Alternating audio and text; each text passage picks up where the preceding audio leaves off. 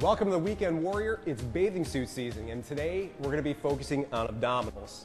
I'm here with Team Trinity personal trainer DJ Yakabuchi, and we're going to be doing some hanging knee to elbows up here. DJ, show us how it's done.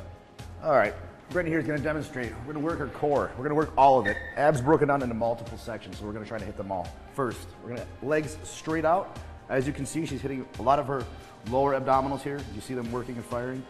From there, we're going to concentrate on the obliques. Let's go side to side. Perfect. As you see her obliques firing, contracting, nice. Knees to chest now. From knees to the chest, you're going to see all of the abdominals being activated.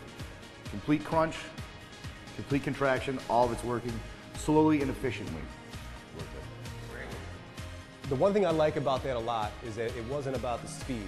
It was about taking the time to slow that down. And when you do that, you focus on that feel, you'll see how your body takes shape. That's the most important thing with those ab, with ab training is to slow it down a little bit, make sure you're breathing and you're paying attention to what's going on. The next move we're going to show you is a tabletop crunch. Go ahead and roll this thing out. The tabletop crunch is great because A, you're going to be roast, full back a little bit. She's going to tilt up her pelvis, and then when she comes up to the top, she's going to hold that for a two count. Go ahead and hit that.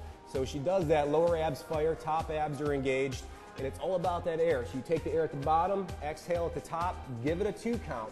Rather than do 20 to 25 repetitions, you're gonna slow it down tremendously and you're gonna do 10 to 15 with that nice hold at the top. It makes all the difference in the world. And I really wanna point that out to you folks. Take the time, get your breathing down, focus on the feel, okay? My name is Nick Oskowski. For more training and nutrition tips, go to trainernick.net. I hope to see you next week on the Weekend Warrior.